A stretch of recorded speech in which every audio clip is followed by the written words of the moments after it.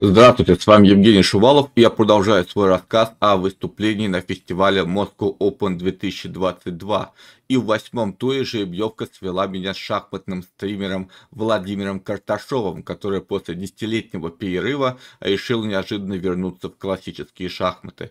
И вот встречу двух таких шахматных динозавров вы сейчас будете наблюдать. Итак, я играю белыми, Владимир играет черными, и я решил разнообразить свой первый ход неожиданным Е2 и Е4. Владимир всегда отвечает c7, c5, и здесь я подготовил ход c2, c3, вариант Алапина. Что ж, черные играют конь f6, вызывают мою пешку на e5. Здесь я захватываю центр, черные бьют на d4, я продолжаю развитие. Черные защищают коня, я забираю на d4 и d 7d6 наиболее популярное продолжение в этой позиции. Здесь я делаю профилактический ход а3 для того, чтобы не пустить черные фигуры на b4 и потом с комфортом иметь возможность развиться слоном на поле d3.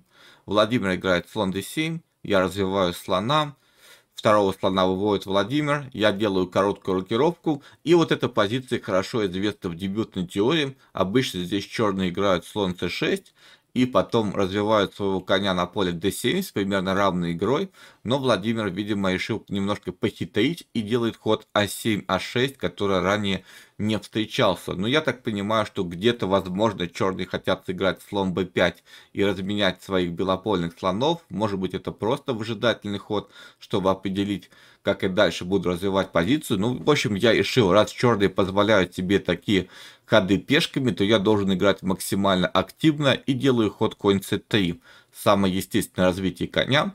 И надо сказать, что, видимо, сильнейшим решением за черных здесь был бы ход слон c6, мой конь перешел бы на e4, размен, и вот в этой позиции белые владеют небольшой инициативой. У меня изолированная пешка, ну и в любой момент я могу получить преимущество двух слонов, разменяв коня на слона. Однако Владимир играет принципиально, он забирает пешку на c3, и делает ход d6, d5, закрывает позицию. Честно сказать, я немножко не ожидал от него такого решения. Черная пешка перешла вперед и получилась у нас позиция французского типа. Конечно, у меня есть слабость на поле c3, но вроде бы эту пешку легко защитить, а вот у черных есть явные проблемы с контр-игрой, и я считал, что эта позиция, конечно, должна быть сильно в пользу белых. Много раз я играл что-то подобное за черных, и всегда здесь у черных были проблемы с защитой своего королевского фланга. Но в этой позиции, прежде всего, я опасался где-то хода слон b5 с разменом белопольных слонов, поэтому делаю ход а3, а4, прикрывая эту идею черные продолжают развитие. И вот интересная на самом деле позиция с точки зрения развития инициативы. А, как развивать инициативу белым? Ясно, что они должны стремиться к атаке на королевском фланге, но вот как именно это нужно делать, это большой вопрос. Прежде всего, конечно, хочется сыграть h4, но во время партии я побоялся, что если поставить пешку на h4 немедленно, то черные могут ее побить, поэтому сделал довольно вялый ход g2, g3. Конечно, если вы хотите играть на инициативу, то нужно стремиться не делать такие ходы пешками, которые не ведут к прямой атаке, а играть более инициативно. Вполне можно было пойти h4 немедленно. Дело в том, что брать пешку на h4 совсем невыгодно, поскольку после размена слона на коня белые играют ладья e1, и дальше у них очень сильный план перевода ладьи на поле g3 со страшной инициативой. Кроме того, чернопольный слон не имеет оппонента, может выйти в любой момент на поле а3, и здесь черным предстоит очень непростая защита всего лишь за одну пешку. В общем, вполне можно было так сыграть, и я уверен, что Владимир вряд ли бы съел пешку на h4, скорее всего он сыграл бы h6, и получилось что-то типа того, что в партии, только а, с лишним темпом у белых. Ну, кроме того, хочу показать здесь интересный компьютерный вариант, то есть я играю h5, например, черные делают программный ход конем на поле a5, и вот шахматные движки предлагают здесь очень странный и необычный маневр коня. Конь d2, но этот ход я еще могу объяснить, прикрывает поле c4, готовит выпустить ферзя на поле g4, и на ход ферзь c7, атакуя пешку c3, белый играет конь b1. Вот когда вы еще увидите такое антиразвитие коня в дебюте, тем не менее, по мнению движков, это сильнейшее продолжение. На длинную рокировку, потом белые играют слон А3, разменивают слонов, ставят ферзя на b1, ладью на c1 и в этой позиции имеют небольшой позиционный перевес. То есть, в принципе, можно было немедленно сыграть h4, но, тем не менее, это не сильнейшее продолжение, а в качестве сильнейших ходов движки предлагают интересные ходы конь d2. Ну, я, в принципе, видел эту идею, хочу выпустить ферзя на поле g4, но только вот на ход конь a5 Здесь надо играть конь b3. Вот так неожиданно переводить коня на ферзевый фланг. И в этой позиции у, у белых долговременная инициатива. Ну и вторая идея заключалась в таком немножко стандартном ходе ладья e1. И на конь a5 белые поднимают ладью на третий ряд путем ладья e3. И то и другое продолжение сохраняло за белыми приличную инициативу. А вот ход g3 практически выпускает весь перевес. Черные играют конем на 5 я играю h4, именно в этом была идея предыдущего хода. Владимир, естественно, прикрывает поле g5 пешкой и конь e1. Типовая, в принципе, идея для таких позиций. Я пропускаю ферзя на поле g4, кроме того, уступаю дорогу пешке f, для того, чтобы она таранила королевский фланг.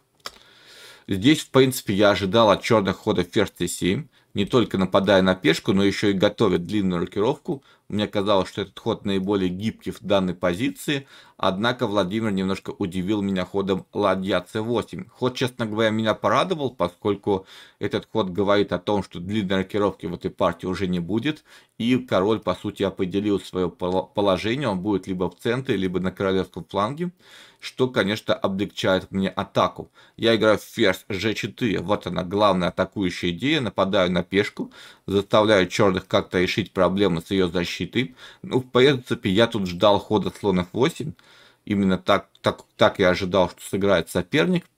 Как-нибудь ладья b1 я собирался играть, жертвовать пешку на a4 и потом ходом h5 зажимать на королевском фланге, пытаясь доказать компенсацию за пожертвованную пешку, но Владимир вновь удивляет меня ходом король f8.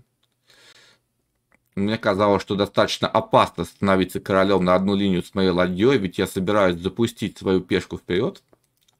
Ну и здесь, конечно, у черных есть тоже свои козы. То есть, во-первых, висит пешка на c3, и эту пешку очень неудобно защищать, поскольку помимо того, что висит пешка, еще и грозит прыжок коня на поле b3 с нападением на ладью и на слона. И вот, конечно, слона бы мне не хотелось бы отдавать. Хотелось бы каким-нибудь способом этого слона защитить. Ну, например, я рассматривал ход ладья b1. Но, честно говоря, за ход ладья b1 я отказался из-за того, что черные могут сыграть h5, отогнать моего ферзя обратно, потом сыграть g6 и таким способом полностью обезопасить королевский фланг. Король становится на поле g7, королевский фланг теперь надежно защищен, и никакой атаки на этом участке доски мне провести не удастся. Но однако движки утверждают, что просто играя ферзь c2, выводя коня на f3, белые здесь получают небольшой позиционный перевес, но это именно такой позиционный перевес атаки какой-то на короля здесь провести не удается. А мне хотелось именно провести атаку. Ну и кроме того, на ход ладья b1, видимо, сильнейшее это взятие на а4, потом взятие на c3, ход ладья b3, разменчик, разменчик, конь g2. Ну и здесь очень интересный вариант. Веду коня на f4. Кажется, что черные успели защитить позицию. Но здесь белые играют конь g6, подставляют коня под бой. И выясняется, что черный король здесь в очень серьезной опасности. Приходится играть слон b4, уступая королю дорогу на ферзевый фланг. Но я могу просто форсировать ничью, объявляя шах. Потом шах отсюда, надо возвращаться. И вот так вот партия завершилась бы в ничью но это все компьютерные варианты. Я более чем уверен, что последовал бы ход h5 и потом g6, обезопасивая королевский фланг. И вот именно этой расстановки я не хотел допускать, поэтому вместо того, чтобы как-то защищать пешку, как-то защищаться от угрозы конь b3, я делаю ход h4, h5, фиксирую структуру на королевском фланге и делаю ставку на атаку черного короля. Но здесь, конечно, самый принципиальный ход и самый сильный находит Владимир, это ход конь b3. Забирает он моего слона, который мог принять участие в атаке. Ну и в этой позиции, видимо, сильнейшим был бы выход ферзя на поле а5. с атакой моих пешек. Я бы, например, ладья b1 сыграл, ладья c7 и на f4, ну, желая начать атаку на короля путем f5, черные должны сами отвечать f7 f5, взятие на проходе, взятие, и получалась бы очень интересная разбалансированная позиция. У черных лишняя пешка, но все-таки король их ослаблен, и у меня есть какие-то виды на атаку короля. Однако Владимир играет слон бьет А4. На мой взгляд, это слишком оптимистичное решение, поскольку предоставляет белым полный карт-бланш на королевском фланге. Я играю F4. Здесь уже F5 не годится, поскольку я просто отступаю ферзем и потом готовлю продвижение G4, вскрываю все-таки позицию черного короля. Поэтому Владимир отступает слоном на D7, я двигаю пешку на F5 и ладья C6. Вот он рубеж обороны по шестому ряду. Владимир надежно прикрывает пешку Е6. Ну и здесь, конечно, у белых было множество атакующих продолжений, и надо сказать, что в очередной раз я выбираю не самое удачное. Движки предлагают мне здесь просто пробиваться в прямую, бить на Е6, играть слон f5, черный защищается путем ферзь c8, размениваться на e6 и просто отходить ферзем на поле f3. И в этой позиции у белых есть идея перевести коня на f4, прогнав тем самым ферзя. И вторая идея немедленный подрыв центра путем c3 и c4.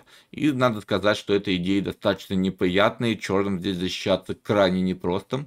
Позиция у них тяжелая. Ну и вторая атакующая возможность заключалась в том, чтобы сыграть ладья b1, активизировать тем самым ладью, напасть на пешку. Черный, допустим, играет b5, уводит пешку из-под боя, и теперь неожиданный ход конь c2.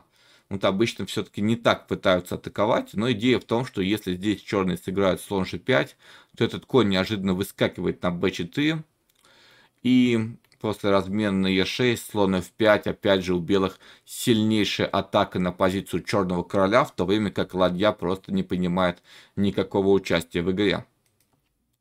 В общем, было у меня два интересных продолжения. Просто взятие на e6, ход ладья b1, но вместо этого я делаю ход конь g2. Подводя пока фигура, хочу на поле f4 подвести коня, но здесь Владимир находит цепочку защитительных ходов. Во-первых, слон g5 нападает на ладью. Я играю конь f4. Размен на f4, взятие ладьей и ферзь g5. Предлагаю размен ферзей. Я отступаю ферзем на f3 и теперь смелое взятие на f5. Вы видите, что черный буквально на тактике держит свою позицию. Если бы моя ладья не была под прицелом ферзя, то здесь просто пробитие пешки на f5 немедленно бы решило партию в пользу белых. Однако сейчас приходится искать какие-то другие ресурсы для атаки. Ну, движки предлагают в качестве сильнейшего ход король h2, защищая пешку g3. И в случае g6, взятие на g6, взятие пешкой и c3, c4 таким вот способом, вскрывая позицию в центре, в этом случае возникла бы просто фантастически острая игра. Движки предлагают ход h5, начиная контратаку на моего короля. Ну и здесь очень много интересных вариантов. Ладья b1. Сильнейший ход, уходя из-под связки, нападая на пешку b7. Ну и здесь главный вариант заключается в том, что если побить пешку на c4, то белые просто отступают слоном на c2 и потом начинают толкать свои центральные пешки, что должно обеспечить им все-таки перевес в этой позиции. Черный король ослаблен, мои пешки слишком сильны, несмотря на то, что у черных здесь три лишние пешки, инициативы на стороне белых. Но самый точный защитительный ход это ход b7, b6. Но я практически уверен, что этот ход невозможно сыграть в практической партии. Идея в том, чтобы на ход e6, например, побить на e6 слоном, взятие, взятие, взятие. И здесь h4 жертвуем ладью но потом объявляем вечный шах моему королю, и партия заканчивается в ничью.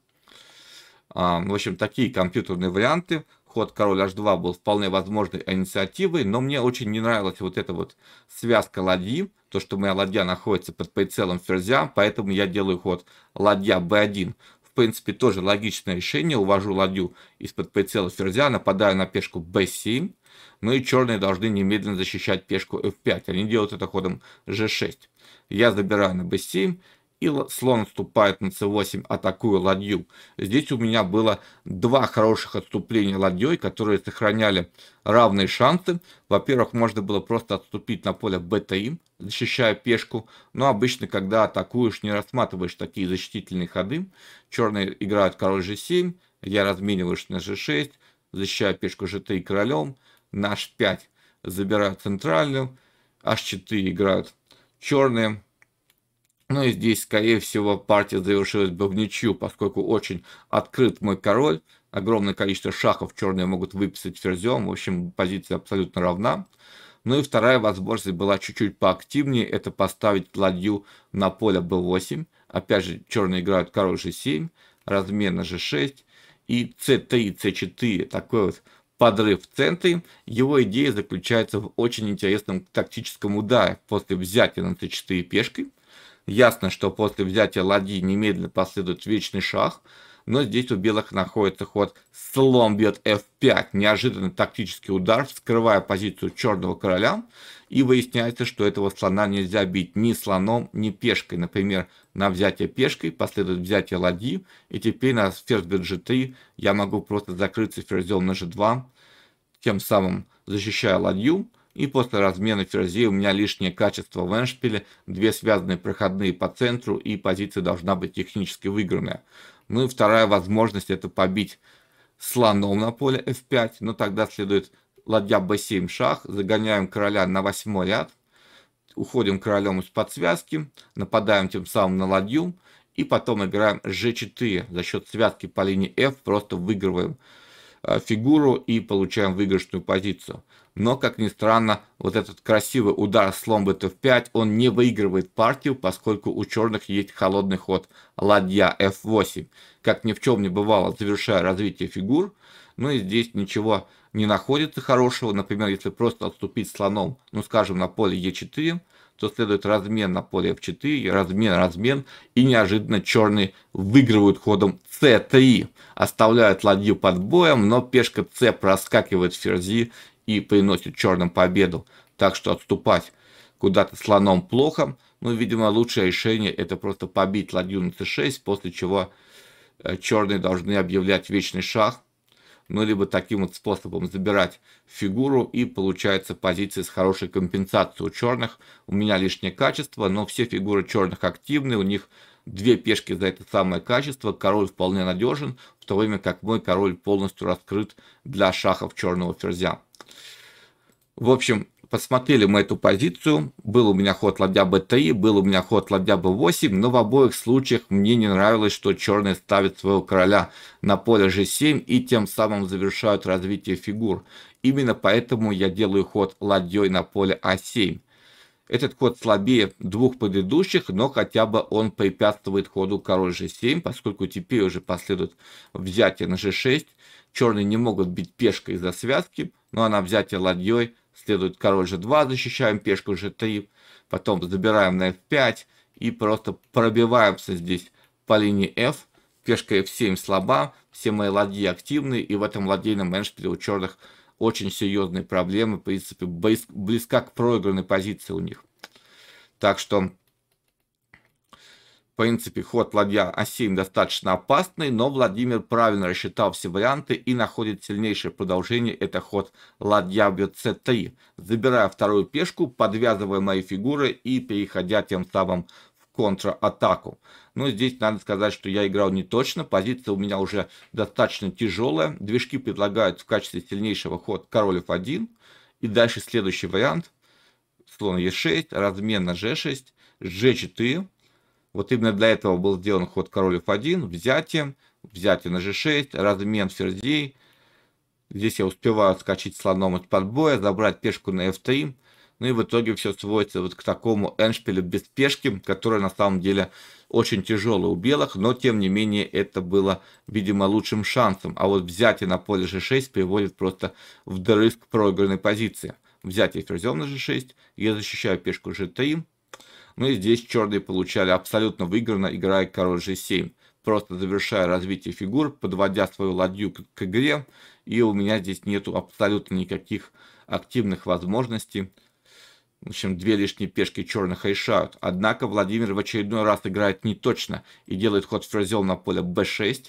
Этот ход позволяет мне какую-то активность проявить. То есть ладья 8, король g7 здесь. И вот в этот момент на самом деле я уже где-то опустила руки, считал, что моя позиция проиграна. И сделал ход g3 и g4, который достаточно быстро привел к поражению. То есть последовал шаг ферзем. Я закрываюсь ферзем на e2. Но иначе, если не закрываться, отходить куда-то королем, то ход ферзь d2 просто решает партию. Черные выигрывают за счет связки по третьему ряду, поэтому приходится как-то так защищаться, соглашаться на размен ферзей, ладья c2. Ну и здесь, если защищать слона, то после взятия на g4 у черных просто три лишние пешки абсолютно выиграно. Но я попытался замутить воду жертвой фигуры, но ни к чему хорошему это не привело. Тут еще Владимир очень холодно сыграл слон b7, посчитал все варианты, что нет у меня никакого продолжения атаки. И здесь разменял пару ладей. И, собственно, уже в этой позиции я признал себя побежденным. Никакой атаки у меня не получилось. Черные сохранили лишнюю фигуру, еще и лишнюю пешку в придачу. Пешка Е6 легко задерживается королем. И нету никаких шансов на обострение позиции. Давайте вернемся все-таки назад. И перед таким вот самоубийственным ходом G4 у меня была последняя возможность спасти эту партию. Но для этого надо было пожертвовать качество на C8. Взятием, взятие ладьей и побить просто пешку на F5, угрожая взятием на, на поле F7. Черные, допустим, защищаются ладьей, и теперь просто ладья F6 и начинают таким способом атаку на черного короля. Шах на B2 я отступаю королем. И вот если здесь сыграть неаккуратно, скажем, пойти ферзем на поле d2, то после хода e6, конечно, черные забирают слона, но мне удается объявить вечный шах и таким способом спасти партию. А сильнейшее продолжение это пожертвовать качество обратно, побить сюда и потом сыграть ладья c2. Однако здесь король g4 и белые все еще в игре. У них всего лишь одной пешки не хватает. Ну и, собственно, удается перейти в ферзевое окончание, которое, как вы знаете, как правило, ничейны, особенно при таком открытом короле. Ну вот здесь, скорее всего, партия тоже завершилась бы в ничью. Таким образом, получилась достаточно интересная партия. К сожалению, не удалось мне доказать преимущество своей позиции. Мне лично казалось, что вот такой переход к позиции французского типа был невыгоден для черных. То есть я верил в то, что в моей позиции полна инициативы, но, к сожалению, не смог этого доказать на практике, играл недостаточно энергично и, к сожалению, возможно, переоценивал преимущество своей позиции. Во многом черные имеют защитительные ресурсы, которые позволили им отбить мои лихие атаки и все-таки реализовать пожертвованный материал. Ну что ж, спасибо всем за внимание. Надеюсь, вам понравилась партия. Не забывайте ставить свои лайки, подписываться на канал. А с вами был Евгений Шувалов. До новых встреч.